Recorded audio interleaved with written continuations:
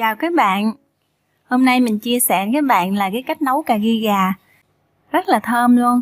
Và cái cách ướp thịt gà sao cho mà cái thịt nó mềm thơm mà cái nước nó thì béo mà không có ngậy. Thì mình mời các bạn vào bếp và cùng làm nha. Để nấu cà ri gà thì mình chuẩn bị đây là một ký thịt gà. Mình mua về, mình đã rửa sạch qua với nước muối và mình chặt ra thành miếng vừa ăn và 600g khoai lang và thêm một số gia vị như xả, hành, tỏi và một số gia vị đi kèm cũng rất là dễ tìm. Thì phần nguyên liệu một lúc nữa mình sẽ để bên dưới video trong phần mô tả nha.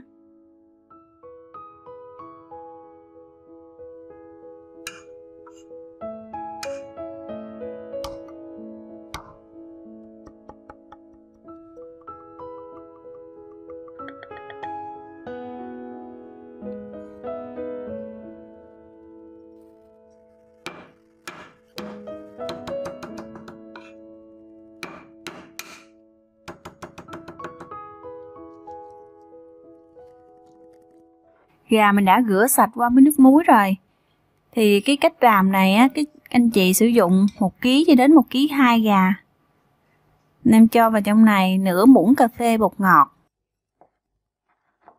một muỗng cà phê muối hạt, hai muỗng cà phê đường và hai muỗng cà phê hạt nêm luôn nha. Một muỗng canh sa tế. Sa tế thì hôm trước em cũng đã chia sẻ cái cách làm sa tế bằng những cái nguyên liệu đơn giản nhất rồi đó. Và thêm là 3 muỗng cà phê, cà ri dầu.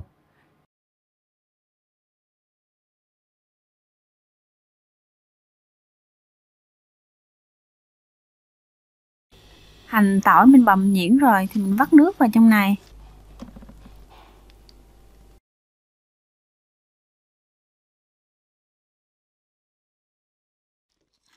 Cái cà ghi dầu á, là em dùng cái loại này nè.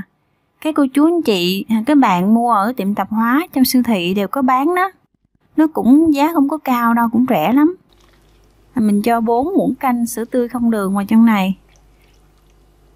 Mình ướp những nguyên liệu làm thơm xong rồi, mình hãy cho sữa tươi không đường vào để giúp cho cái thịt gà mình nó mềm và nó thơm hơn đó.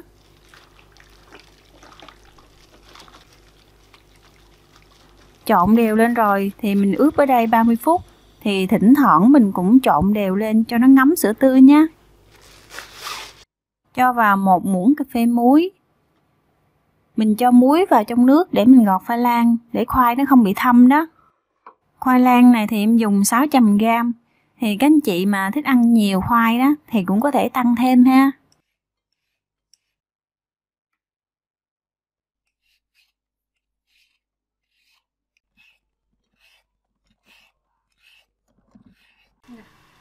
À, mình cho hai cái cây xả cây vào trong dầu nè.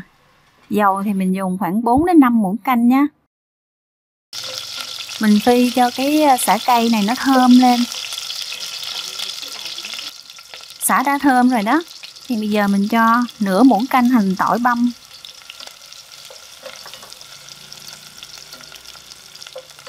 Hành tỏi đã thơm rồi thì mình cho lá cà ri tươi vào nè.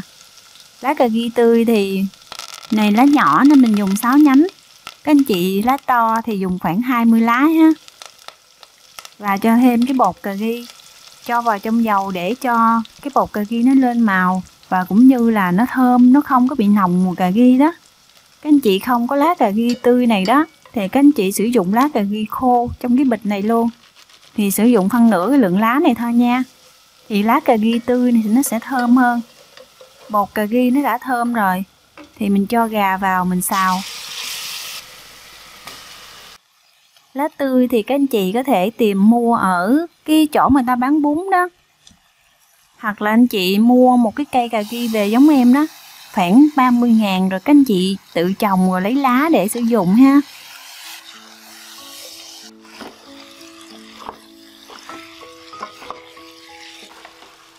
Gà mình đã xào xăng với lửa trung bình rồi nè đó, mình đã xào thật là săn lại rồi. Bây giờ mình mới cho cái nước ướp vào nè.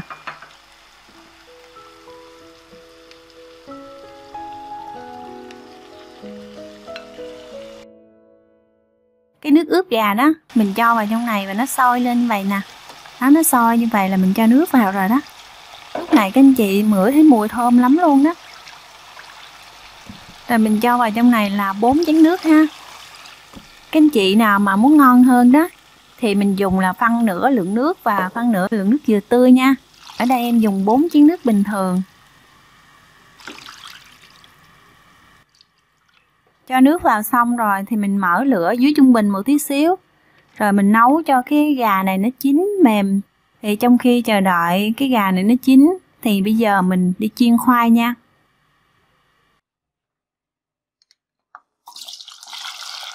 Thì khoai này mình chỉ chiên sơ thôi. Chiên sơ để khoai nó dẻo hơn. Và khi mình cho vào trong cà ri thì nó đỡ bị nát đó.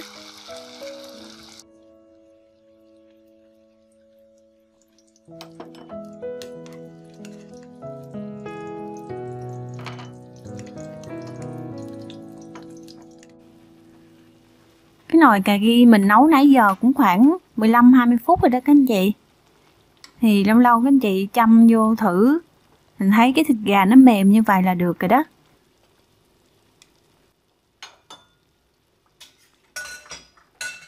Thì bây giờ mình gấp cái xả ra luôn.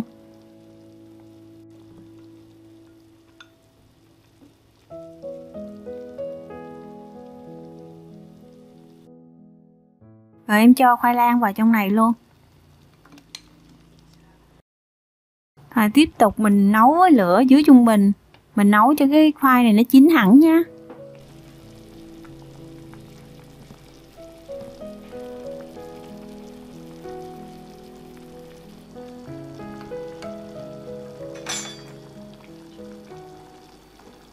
Cái khoai nó đã chín mềm rồi đó. Thì bây giờ mình cho hai muỗng canh sữa đặc vào trong nửa chén nước cốt nửa chén nước cốt dừa đó. Rồi bây giờ nếu các anh chị nào mà không ăn bánh mì đó, thì mình cho cái nước cốt này vào luôn. Còn nếu mà ăn bánh mì thì mình tạo đậu sánh. Mà tạo đậu sánh ngon nhất là mình dùng cái bột cốt dừa. Bột cốt dừa thì mình dùng một muỗng canh đầy vung luôn ha.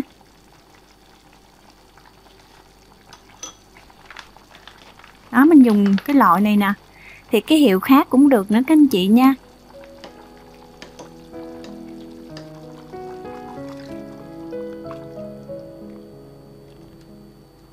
Cho nước cốt dừa vào xong thì các anh chị mở lửa nhỏ là dùm em nha. Rồi mình cho thêm nửa củ hành tây nè, mình cắt muối cao đó, mình cho vào trong này luôn ha.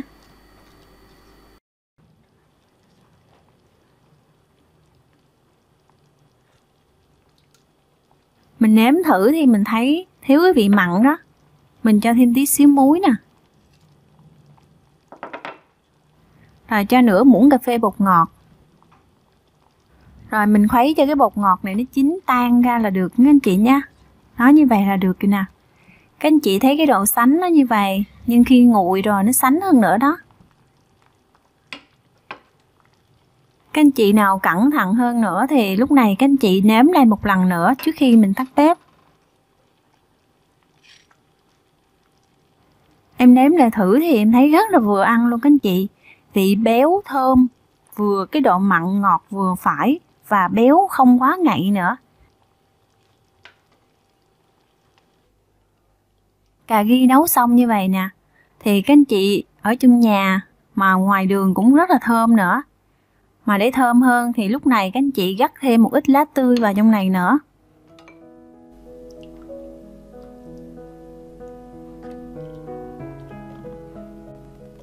Thì cà ri này mình ăn chấm với muối ớt, muối tiêu và ăn kèm với lá quế. À, nhìn cái miếng gà nè nóng hôi hổi luôn. Mà nó bốc hơi lên thơm phớt luôn đó các anh chị.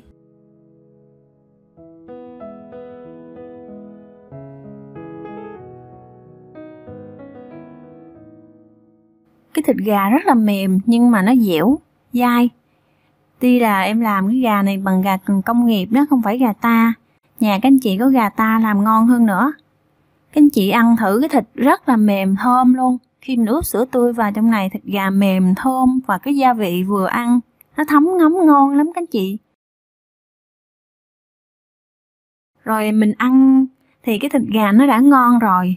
Nhưng mà quan trọng hơn hết là cái nước này nè. Cái nước cà ri này, các anh chị ăn làm sao khi mình ăn vào cảm giác nó vừa ăn. Và khi mình nêm cái vị béo thì đặc trưng vẫn là vị béo nước cốt dừa, nhưng béo không quá ngậy vì mình có sử dụng sữa đặc vào trong này, cái vị ngọt nó thanh, dịu nhẹ nếu mình dùng nước cốt dừa nhiều quá, ăn cà ghi nó ngán lắm các anh chị ơi các anh chị thử làm theo cách của em, để chiêu đãi cho gia đình, cũng như bạn bè và người thân trong những dịp cuối tuần, và cũng như những ngày đám tiệc. Ở miền Tây quê em thì nấu cái món này rất là nhiều. Cô chú anh chị làm thử nha. Và em cũng xin chào và hẹn gặp lại ạ. À.